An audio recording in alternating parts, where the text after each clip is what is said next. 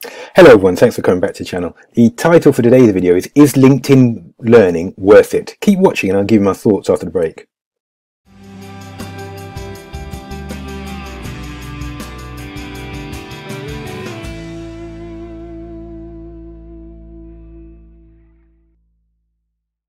Hi everyone, this video has been three to four weeks in the making. If you're not subscribed already, in preparation for this video, I subscribed to LinkedIn Learning, and if you look at the top, here's my uh, LinkedIn profile. You can see at the top right, there's a button there for LinkedIn Learning. I'm going to click on that, but before I click on that, I just want to show you the settings are here and the reason I'm going into settings and manage, uh, I just want to manage my account and show you how much LinkedIn Learning costs in the UK. So here's my settings page for LinkedIn Learning Premium. Five credits available InMail as part of the premium package. I've signed up for a 30 day trial. I suggest that you sign up for a 30 day trial as well. Once I've gone out of the 30 day period, it's going to cost me £24.98 pence per month.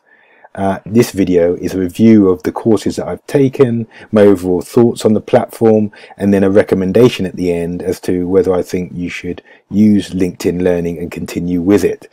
Okay, so it's 24.98. I'll put on screen now the equivalent price in US dollars, and you can use either of those two figures, the UK figure in pounds or the US figure in dollars, to make an approximation for how much that would be in your country if you're outside of those two countries.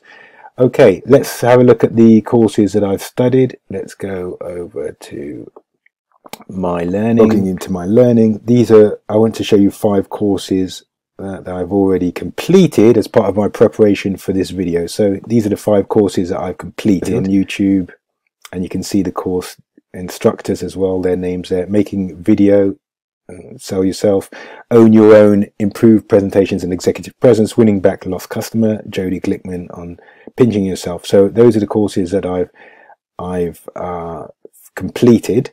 Uh, the courses are completed at, at, high production level values. So you there are all the videos are very watchable. Uh, you've got an opportunity to uh, watch them obviously on demand, and they're well produced all of the courses that I've uh, studied are well produced.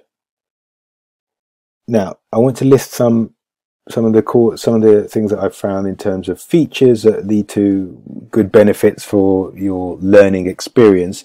The first of those is that when you've completed your course, uh, you, you'll get a certificate of completion, and they look like this. So here's one for advertising on YouTube, another for making video sell yourself, making video three, sell yourself, and that's the course that I was just highlighting.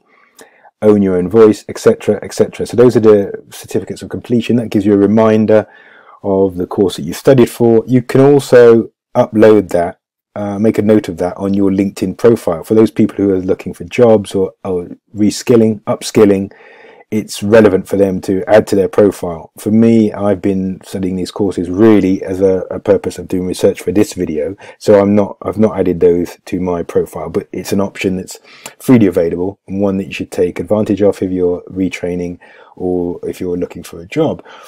Okay. Uh, another feature, let's go back. Another feature that's good for uh, your learning experience is to set a weekly study goal. On the left of this screen, you can see my study goal. I've been able to set a study goal of 120 minutes per week. And you should set an appropriate study goal for yourselves and given your learning objectives. Uh, last week, 254 minutes. So the fact that you can focus your learning on the amount of time that you have available is very good. It's a very good feature. And the benefit of that is you will have uh, the ability to drive through your courses and finish your uh, allotted or targeted study time. Whereas if you just go into a course and you're not really held accountable, then you perhaps will lose interest or you might find that work tasks rather than study tasks take over. So that's something that's very good. And uh, following on from your ability to set study goals, you will receive weekly uh, achievement emails, uh, just summarizing the uh, your tasks that you've completed on LinkedIn Learning. So for me, that would be completion of courses or amounts of uh, amount of time elapsed in terms of studying. So that's also another key benefit. something else I found very interesting was the fact that once you've studied courses or if you're looking for new courses, you can get recommendations. And here, here I, here's a, a good demonstration of that.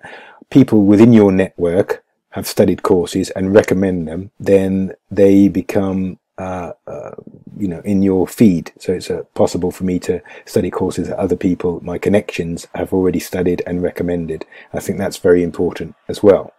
And it's a, a good feature. And benefit of that is you can learn the same as some of your contacts. Let's go back to my learning.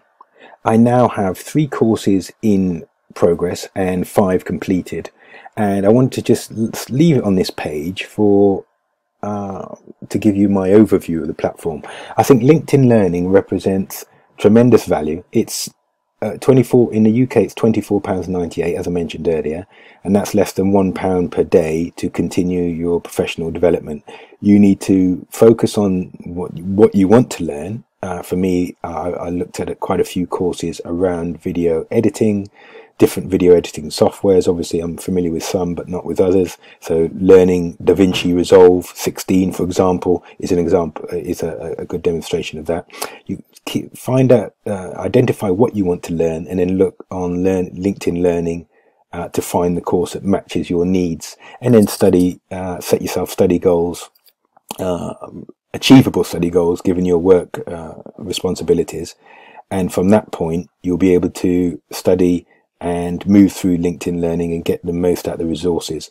I'm surprised that LinkedIn hasn't made more of a push or more of a, a promotion of LinkedIn Learning because it does seem to be very good value. The courses are all, as I said earlier, high production values and there are benefits of studying those courses. You just make sure you pick the right courses for you um, and your career. Hope this has been useful. Thanks for watching all the way through. If you've not subscribed already,